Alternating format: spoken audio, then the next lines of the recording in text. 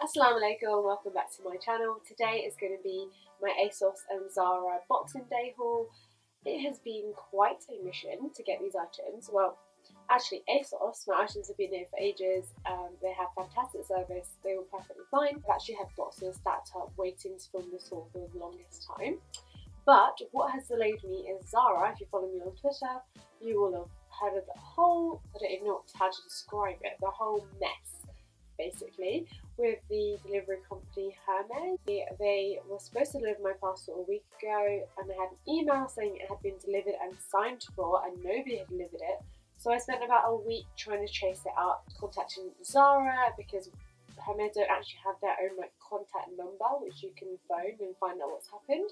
So you have to go to the retailer. I was contacting Zara, kept saying Hermes are extending the investigation. They are seeing what they can do. They are checking out what's happened and we'll get back to you. And they were never getting back to me. And because it was quite a large order, I was getting like more and more anxious and worried about what happened, if I was to get a refund on anytime soon, if my order was ever to get to me. I'd assumed it was stolen, to be honest with you. Everyone was at home at the time and nobody heard a doorbell, nobody heard anyone knock on the door. It just hadn't been delivered, even though they said it had, which was just a massive mess. Now, almost a week later, I came home to find it sitting on the kitchen table and I asked my family what happened and it said it was left by the green bin. So obviously somebody, after the investigation was put out, somebody had come and dumped it by the green bin and driven off, which is um, always very helpful and a very safe place to put it. So anyway, my parcel is finally here from Zara, thank goodness, um, but I am just going to quickly go through the ASOS things first and then I will unbox the Zara. I've got a few ASOS returns to do, so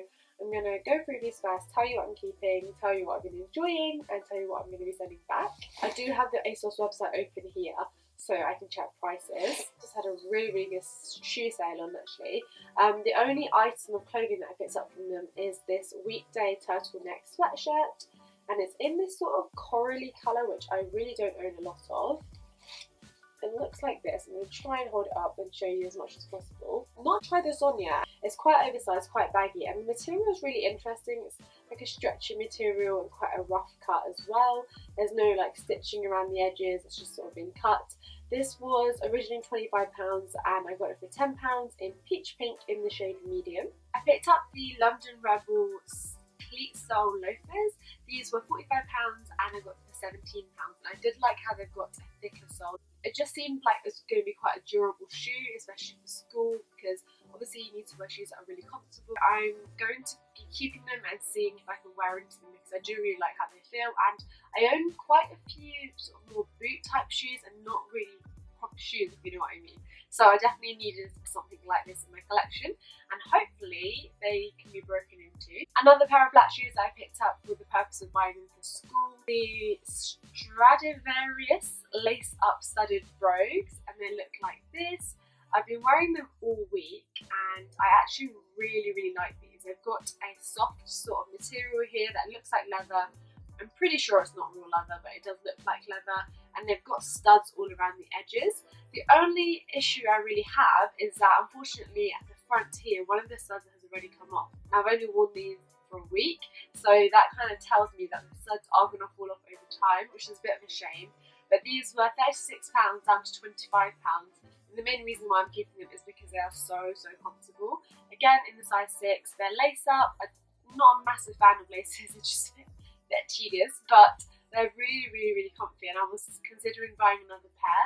Um, but because the studs are coming off, I'm not going to buy a second pair, but I am going to keep an eye on this brand ASOS from now on because sometimes it's the brand itself that makes a difference and these are really, really comfortable so far. Moving on to the ASOS brand themselves, I purchased two pairs of boots and the first pair are these ASOS Artistic ankle boots and they look like this. They've got a really, really tiny heel and they're like the suede look. They haven't got a point, they've got like a rounded edge and these were £28 and they're down to £12.50. Now what I like about them is that they've got a proper ankle support here.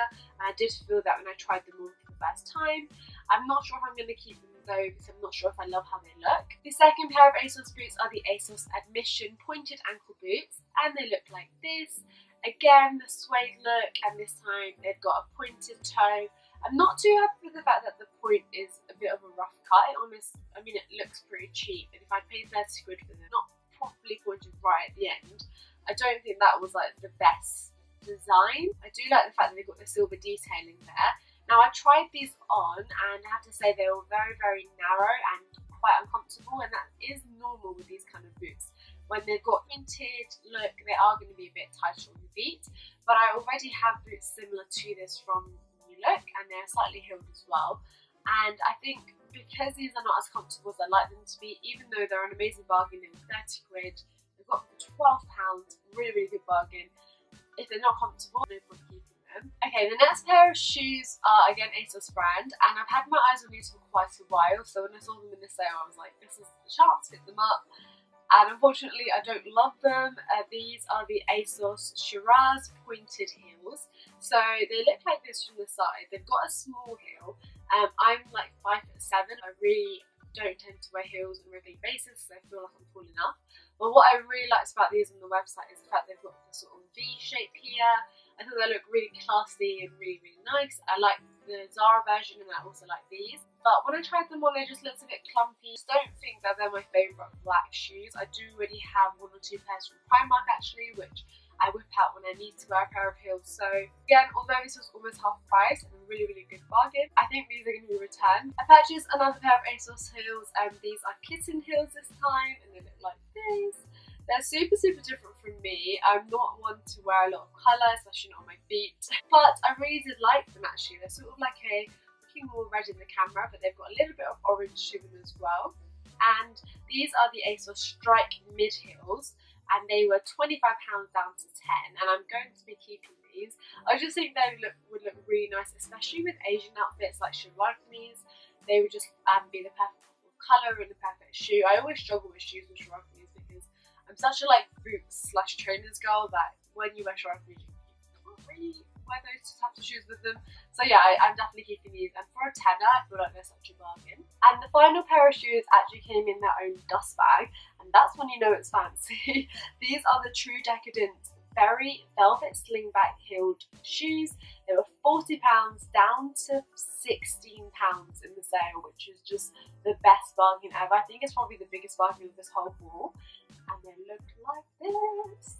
They are so stunning. I absolutely love them. I love velvet. I know that it comes in and out every single winter time, but I just think these are beautiful. I love the detailing on it at the front, and the heel again is perfect for me. Really versatile as well. I could wear them with Asian suits. I could wear them with like black trousers, just to sort of dress up an outfit. Um, just a massive fan of these. So ASOS was pretty hit and miss, but I did pick up some really good bargains. And again, I'm glad I can just really hassle-free return the items that I don't want and get my money back. That's what I love about ASOS. They're just so simple and easy to shop with. And now to move on to this huge Zara order. It's in a massive box. Honestly, it's a bit of a miracle that it's actually got to me after that whole long, stressful week wait.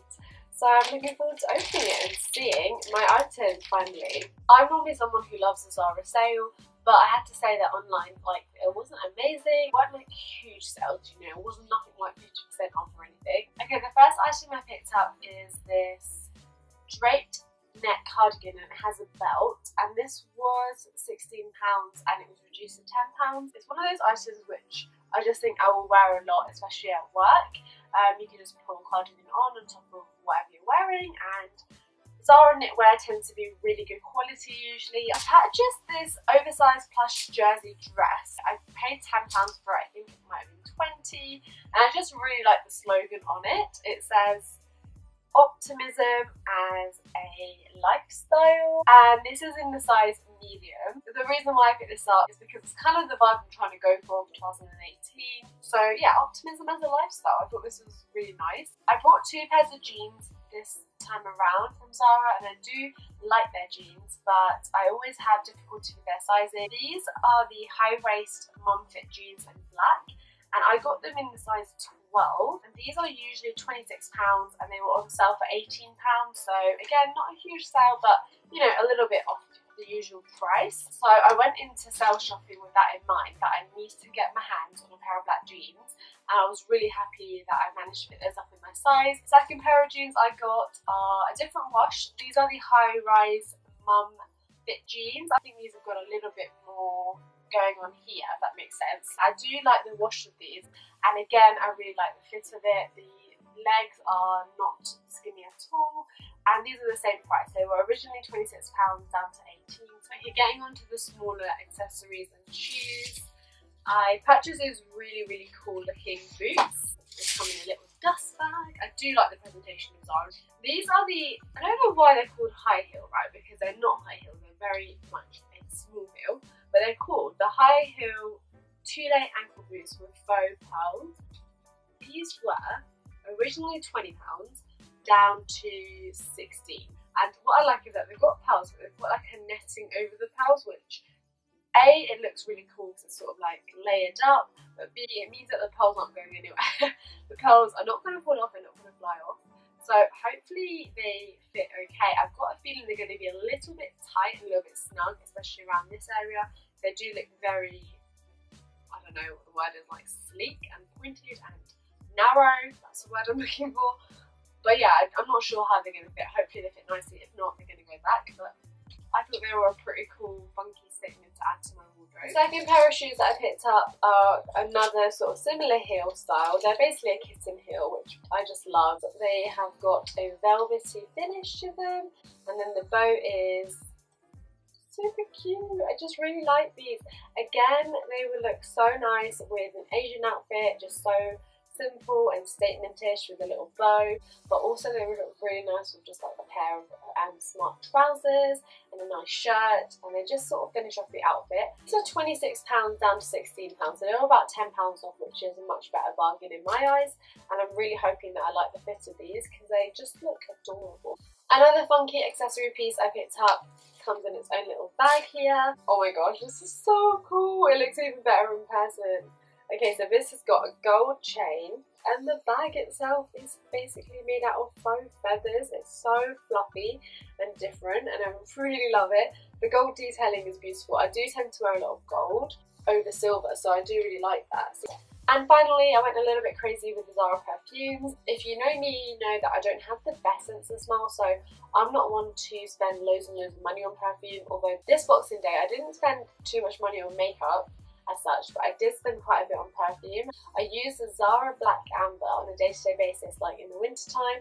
It's a little bit more woodeny and it's not a very sweet or fruity scent, which I quite like, um, but it is quite strong, more sweet. I'm just a really, really big fan of Zara perfumes. I think that they last a decent amount of time and they're super affordable as well. This is the Zara 02 Sweet Vanilla. This one is the Hackney London edition, I believe. This is 100 millilitres for £8, which is just such good value for money. And I think that because they're not too big as well, you can easily throw them into your handbag. I'm actually going to keep one in my car as well from now on so that I'm always like prepared with a nice perfume if I need one. Um, and yeah, I just really like this. It's not too heavy and not too intense, which is great. And um, yeah, it's called the Sweet Vanilla Hackney London. This is a Zara Sweet Vanilla perfume. Oh, I like the like leather look casing there. That's very cute. I'm not going to open this and spray this, but again, this is 100 milliliters and it was a tenner. And then I also picked up the Zara Accord number four and then some French word, which I cannot even try to pronounce because my goodness, I can't pronounce French save my life. This was £16 and it was down to £10, so a bit more of a saving. How fancy is that? It's got its own little box there. And it looks a little bit Chanel-esque. Got a very funky pebble-shaped bottom. I was just reading the notes from the website basically and this seemed like it would be something that I would like. Personally, I'm not a big fan of musky scents or anything that's too manly. I tend to go for like more sweet floral scents. Definitely when I was a teenager, I loved like really, really sweet scents. Now I'm definitely going towards more like vanilla notes and something that's a little bit more sophisticated than something that's too sweet, if that makes sense. And that is the end of my ASOS and Zara haul. I'm going to be returning a few of the ASOS bits definitely, like those boots that I wasn't a big fan of, but I'm not sure about the Zara things. It depends on how well they fit. I guess, but I'm actually really, really happy with everything I got, and alhamdulillah, I'm so glad that my order was found. I don't know what happened there. If you guys picked up anything good in these sales, please let me know. Hope you enjoyed that video, and if you did, please make sure you give it a big thumbs up, and I'll see you next time. Thanks for watching. Bye!